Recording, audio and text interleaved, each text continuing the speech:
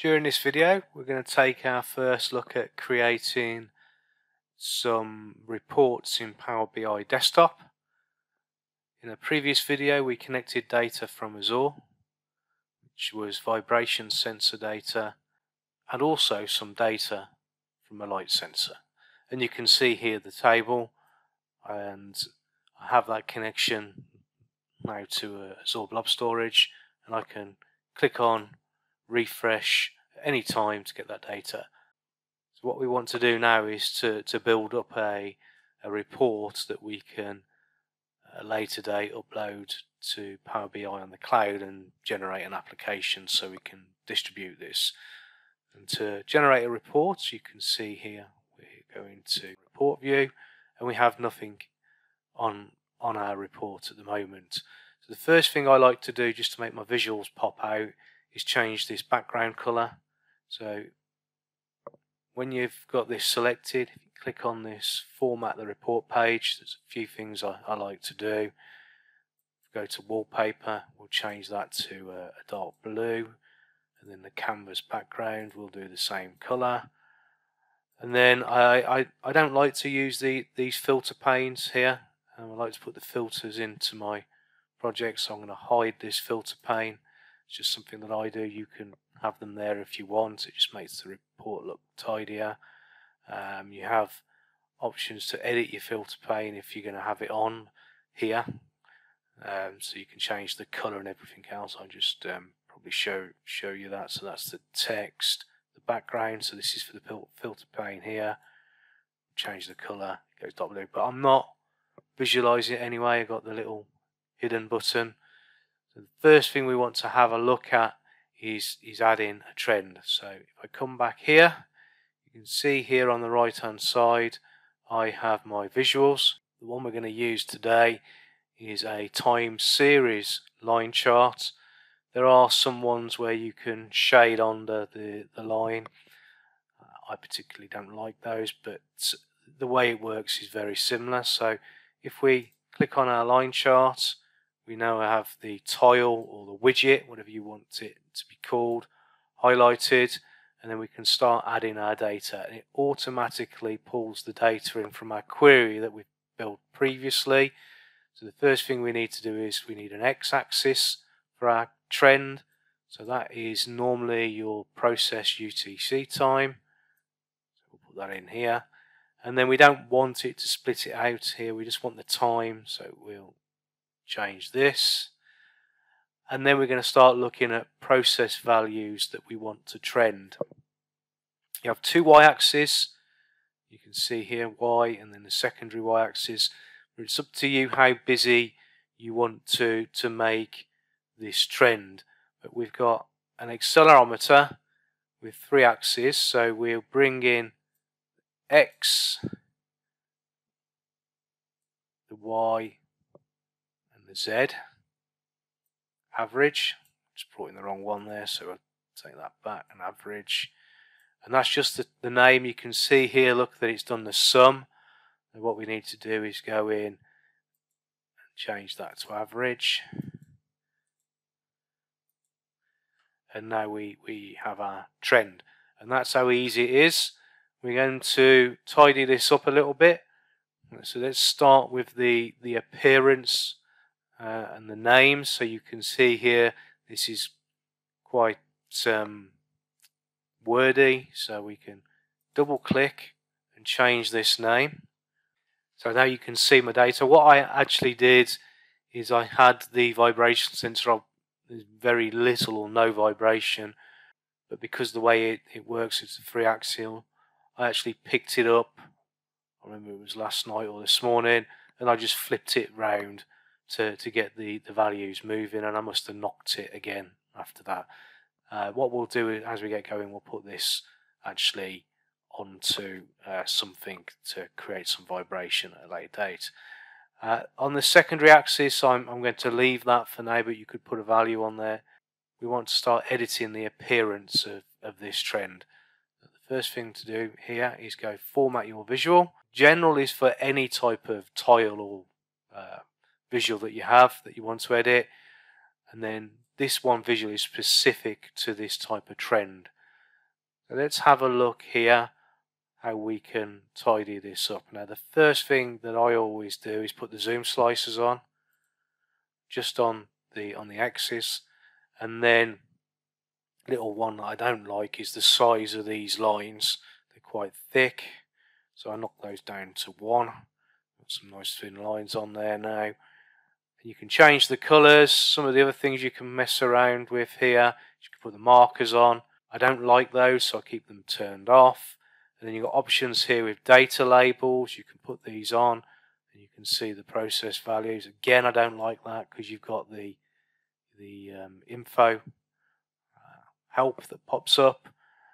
Series labels puts the name at the end but again we've got them up here and they're color coded it's just taking up space it's okay here when we've got one axis but when we've got two um, that becomes a bit busy.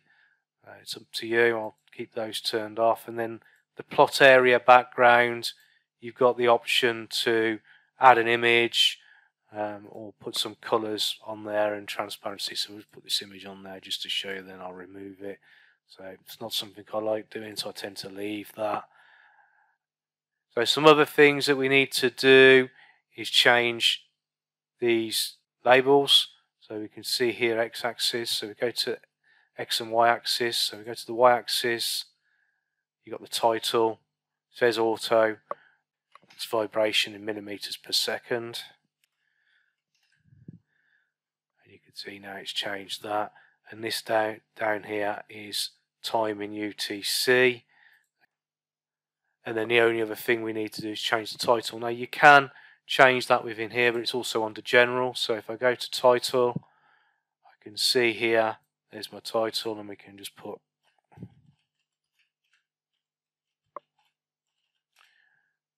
whatever title you want on there, and then you can position it and change the, the text size and the color and do anything you want. Something I tend to, to do is go to effects and just round off the corners here. So if you have a look at the border turn that on and set that to a radius of 10 just finishes it off a little bit nicer. You see here now the, the radius on there. And then it's really limiting the options on on this. So if I go to here I'll have plenty of options I don't really want the end user to have. So this filter for instance so if you go to settings and your general, you'll see here header icons. So you can turn them all off. I still want the option to focus so you can have the you know the trend on just one page. If you come down to icons, you can see all of this stuff that you can turn on and off. So somewhere on here I want to keep focus mode and I will turn the rest of these off.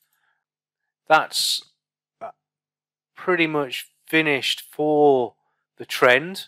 You can drag and drop. If I click on it again, I can put more information on here. We're going to, to come on to you know, the help that you can apply. But the first thing we need to put on here is a filter for the time and date. Uh, and it's worth having that on almost any report that you do so you're not always loading up three months worth of data and that's done with something called a slicer so click off the, the graph, select slicer, and you can see it's come down here, and then add a field. So we'll use event process UTC time, and it's brought that in. Now again, I can play around with the look and feel of this. So I'll have appearance. I'm going to go to slicer header. I'm going to turn that off and then under the slider I want that the same color as my background so you can see here now that's that's changed. And then I'm going to go to general do the same as what I've done on my other one set a border and give that a radius of 10 and then just give it a title. Sorry I clicked off by mistake. So if I go to general, title, select date range. And you can make that as big or as small as you want. It's entirely up to you. So that's now got a filter, but I can see here I don't want to this to have access to any of my header icons.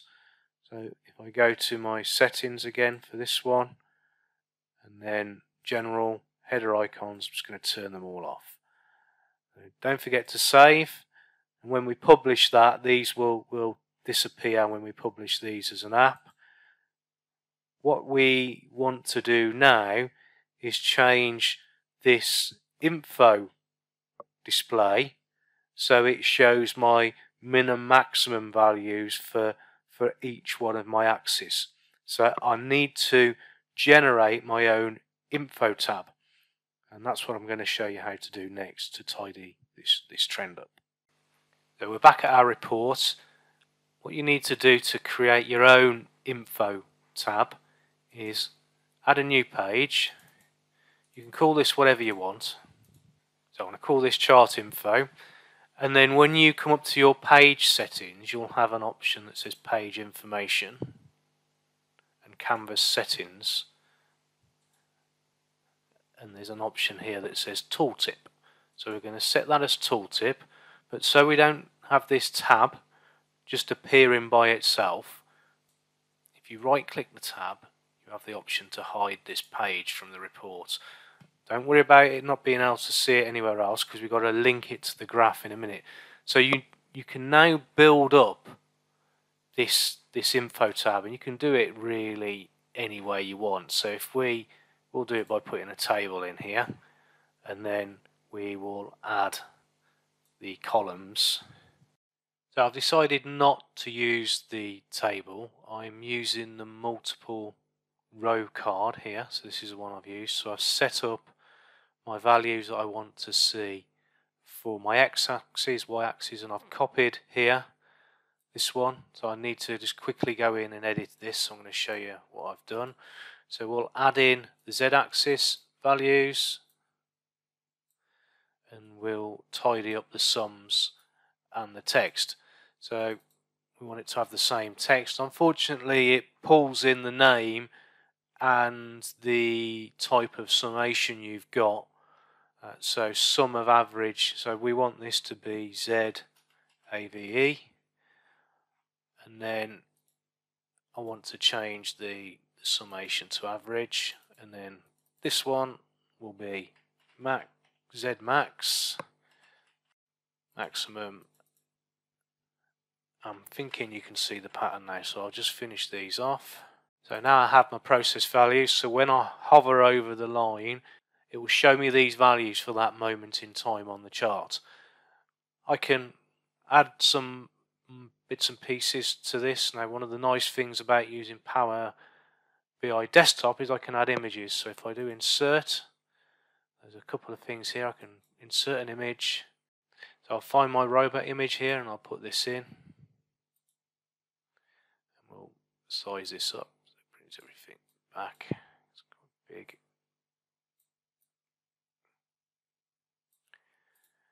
and then we just need to give it a title so again we can insert a text box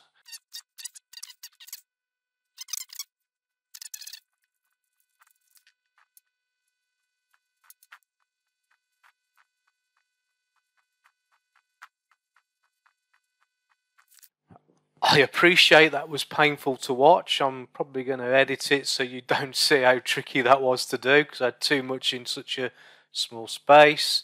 So now I'm going to just line everything up. I've done my tooltip, so we'll keep that saved. Now we can go back to the graph. Don't forget you need to hide this. So when we go back to the graph, we got this this here. We can now go select the graph, go to our settings, and I think it's under general. You'll have tooltips on, and then you've got type report page, and we can select our tooltip page that we've just done, which is chart info. Let's just do a save on that and then let's have a look at what it looks like. So there we go, there's our tooltip on the graph so we can see the, the min max and everything else and our, our little um, robot character on the screen. So that's how you, you tidy up the trend with more useful information because if you if you just leave it by default it will just do the values you've got on the trend but you might want to put a little bit more information on the tooltip like you can see here our min, max and standard deviation values so I'm hoping that when we start coming to, to here look you can see our standard deviation values have shot up and we can start putting alarms on that or conditional formatting and we'll look at doing that in another video. So there you have it, the trend view. Quite easy to use to, to do the basics on, but we've shown you something a little bit more advanced with the tooltip, bringing in some additional information. And we've also added the slicer or the filter for the date at the bottom. So I hope you found that useful. As per usual, please share this channel with your friends and colleagues. But for now, thanks for listening and hope to see you again soon.